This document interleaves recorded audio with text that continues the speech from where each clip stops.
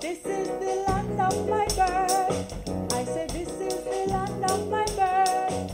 I said, This is Jamaica, my Jamaica. This is the land of my birth. I will never leave her shores.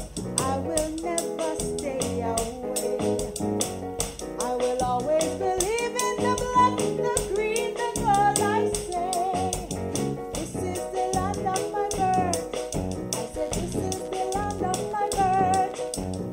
This is Jamaica, my Jamaica. This is the land of my birth.